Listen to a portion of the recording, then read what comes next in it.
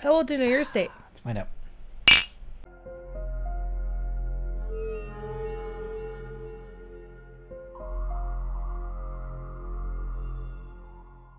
Part two. Yeah. Part two. It's fine. Huh? It's five. Yeah. I don't know German. Dos. Okay, so in the first episode, we talked about the beginning of the case of the boy in the box. We talked about the finding of the boy, the uh, autopsy, and the beginning stages of trying to f- identify who this boy is. Hmm. So today, I am going to start with the theories, um, and then the half resolution. Okay, Okay. get into it. Do it. Okay. This case had gone cold. Nobody had came forward with any information that would lead to the identity of this boy and who had killed him. On November 4th, 1988, the boy in the box was ex- exhumed to extract DNA samples, hoping future technology would be able to identify this boy. After the attempt, the authorities admitted that they had not been able to collect enough DNA to create a profile for him. They exhumed him again in 2000 from his teeth, but this attempt has failed as well. However, a third attempt in April 2001 had been successful. So they exhumed him three times. So far. Yeah. The first time, I don't know where they took the DNA, but it wasn't enough. Second time, they took it from his teeth, and it wasn't enough. But in 2001, they took it from somewhere else, and it was successful. Okay. With any unsolved mystery comes theories. One of these theories involved a foster home that was a little more than a mile away from where the boy was found. In 1960, an employee of the medical examiner's office had contacted a New Jersey psychic who told him to look for a house that apparently matched the foster home. The psychic was brought to the city and led the employee, Remington Bristow, straight to the house. He had attended the estate sale and had allegedly seen a bassinet similar to the one that the box housed, and blankets that resembled the one that the boy was wrapped in. His theory was that the child belonged to the stepdaughter of the man who ran the foster home, that the child was the result of the stepfather and stepdaughter, who had let the boy die so that he would not be attached to an unwed mother. Hmm. Nice. This theory is mostly discredited, though, since police could, could not find enough evidence to support it.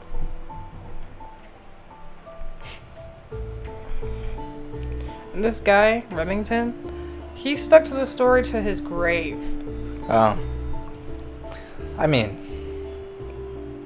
He stuck with it for a really long time.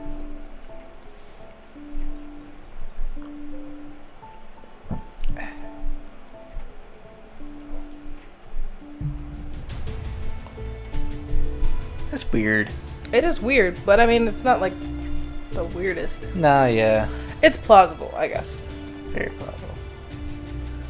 The second theory came about in 2002 and was, reported by a woman that just goes by the letter M. Um, the next paragraph about this woman's story contains uh, mentions of physical and sexual abuse. Disclaimer. She claimed that her abusive mother had bought the boy, named Jonathan, from his birth parents in the summer of 1954. She said that he had endured extreme physical and sexual abuse for two and a half years. Her mother allegedly killed the boy after he vomited in the tub in a fit of rage.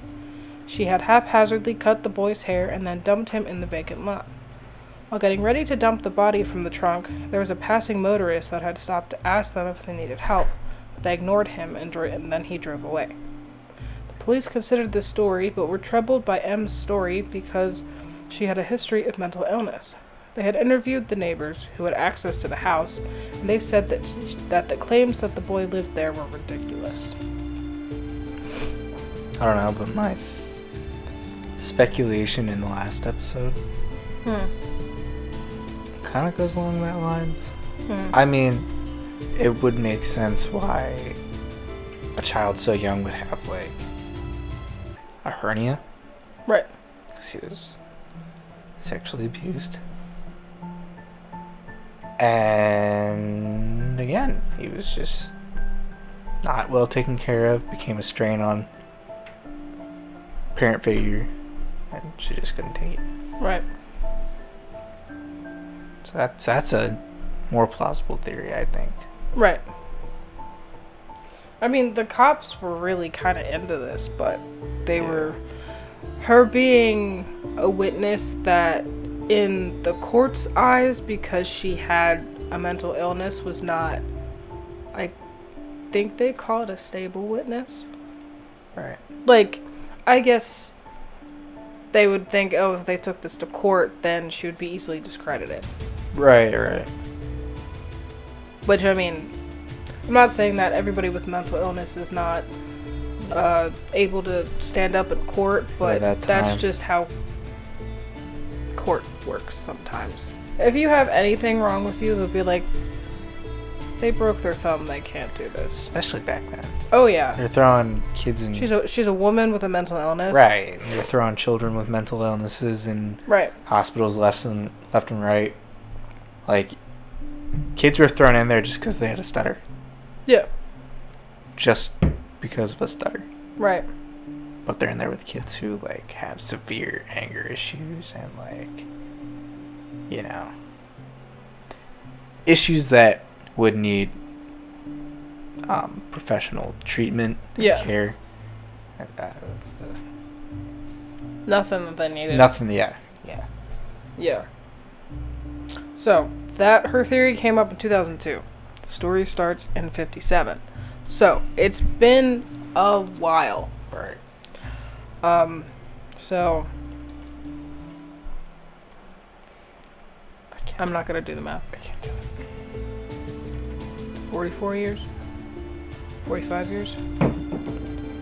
After this, there was nothing until November 30th, 2022. Uh, 20 years later, after her theory came out. Right. When the Philadelphia Police Department announced that they had identified the boy through genetic testing and investigative genetic genealogy. The boy had been identified as four year old Joseph Augustus Zarelli, born January 13, 1953. His parents had been identified as Augustus Gus Zarelli and Mary Elizabeth Betsy Abel. Betsy would have been 21 when the boy was born. A relative to Betsy, who asked to be unnamed, had suggested that she put the boy up for adoption like she had done before with the daughter, but it remains unclear if she had actually put him up for adoption or not. The relative said that they do not think Betsy had anything to do with the mistreatment and the death of this boy. Okay. Which, I mean, obviously, when you come to cases like this, like, people who knew Ted Bundy was like, no, Right. he would never do that. But I mean, I, it has to, I guess, show a little bit in someone's character to do something so awful. Yeah. know? And I don't know, I just realized this when I was doing this, but there was a handkerchief found Yeah. and it had a G embroidered. Gus. Gus. Ah. Yeah, that's my speculation. There you go. Okay. But yeah, It's a nice connector. Yeah. The police said that they do not know if the father knew of the birth of this child or the existence, as well as if as well as how the two even knew each other. They were five years apart and lived relatively far away from each other. Gus Zarelli had died in 2014 at the age of 87, which is pretty old. Yeah. Apparently, they were a prominent family. Oh. Um, I read in an article that it was a prominent family, but I couldn't find anything else on him because it. I feel like he would be the prominent family because there's more history on her. Um, later on, I go on to say that she works in like warehouses and everything, so it's not like she's born into wealth. Right. Or really has anything to fall back on. So she's working like blue collar jobs to support herself. So I think it would would have been him as the prominent figure that they were mentioning because they weren't together. They were never like a married couple or a or on paper a couple. Um, okay. so that would kind of take his image down if he's, you know, Maybe. messing around with the impoverished. Right.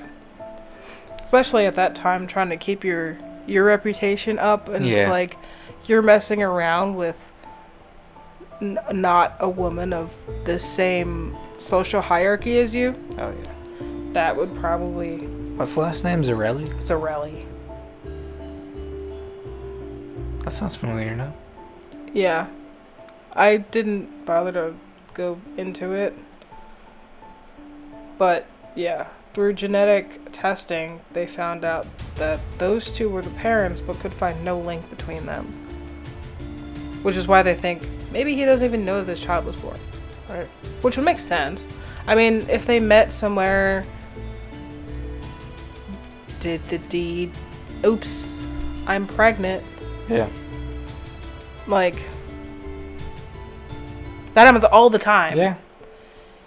But back in the 50s, sure there were no safe abortions or even affordable, They were doing them in back alleys. So. right? I I guess I should also say that these theories came before the discovery. I don't know if there's I mean, the discovery was relatively recent, so there Yeah. probably wasn't enough time to figure out the theories of what it is now because there are two parents that have been identified, but I they don't really know. I mean, they they don't even know the connection between the parents, let alone what happened to this child. So these theories were the theories when it was an ongoing investigation without anybody attached to him, just him as an individual small boy, unnamed. I mean, Which probably doesn't. at least there's a name to kind of give him. Yeah. I'll read on the next part actually. On January 13th, 2023, some paternal relatives of Joseph attended the rededication of his headstone at Ivy Hill Cemetery in the Cedarbrook neighborhood of Philadelphia, which is where we went. Right. The relative said, quote, Our family was blindsided by this. We want to honor him by finding out his entire story. We want to put real closure to this story. Well, I'm glad that you know the family that didn't even know he existed is like totally Supportive. trying to use their influence and honor him. Yeah. Yeah, so like I said earlier, Betsy worked at Crown Can Company, which I guess makes cans. Uh, probably like a factory. Yeah. That's the word. Yeah. Uh, and other warehouses on Erie Avenue. She died in 1991 after a prolonged illness, probably due to lung cancer, likely due to asbestos exposure. Mm. I'll tell you what time it was. Yeah. The death of little Joseph Augustus Zarelli was one that shook the city of Philadelphia. For more than 60 years, this boy laid under the headstone that read, America's Unknown Child. After multiple attempts at DNA extraction, they were able to collect enough and later go on to find his identity and his birth parents. He was finally given a headstone with his name on it, and he can now rest. That is the end of the story. That For is a kind of solved mystery For now, for now, yeah. a little bit. Yeah. I mean, for for me, I guess I would call it solved. We know what his name is. Yeah. The whole mystery was based on who is this kid? So that part of the story is is finally That's closed. Okay. Yeah. When I first heard about the story, it was unsolved. Now we need to figure out what happened to him. Yeah.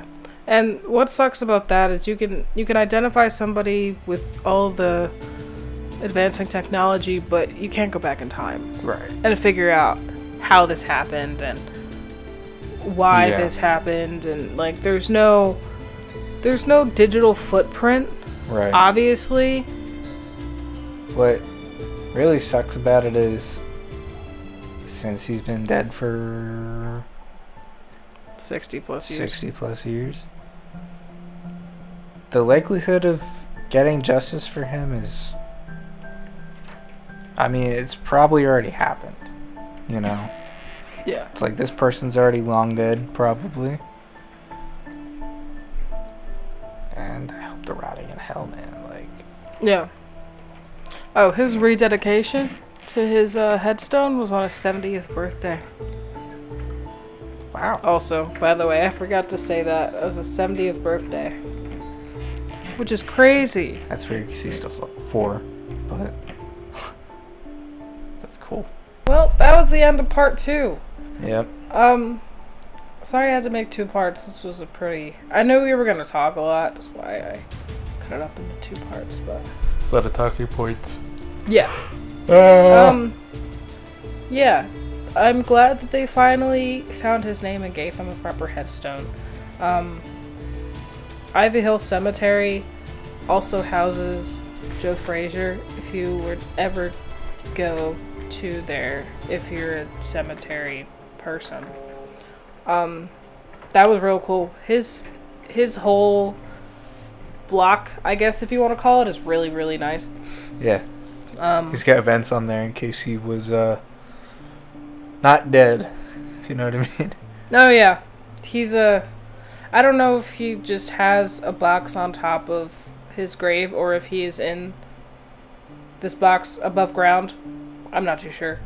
Um, but if you're ever going to visit Ivy Hill Cemetery, um, it's open to the public. You can just kind of go there. But the grave of this little boy is right at the front, and you can just go there and park.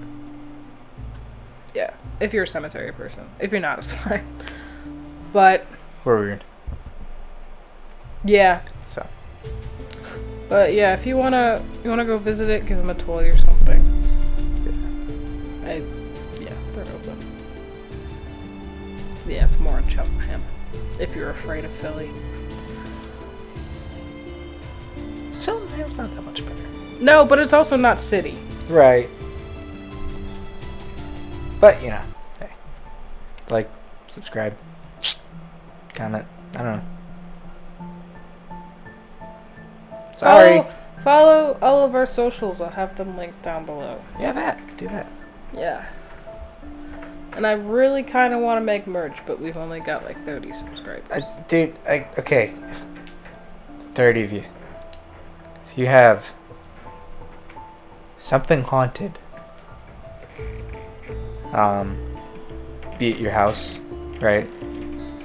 Or anything you can allow us to go to that you have the authority to allow us to go to to check it out give you some answers right?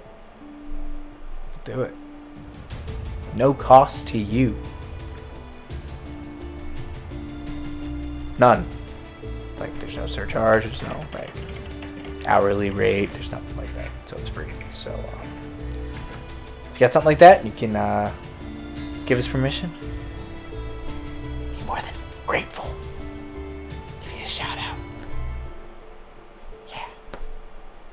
Please. I'm not begging i'm just begging. It's been slow. Well, thanks for watching. yeah. Ah!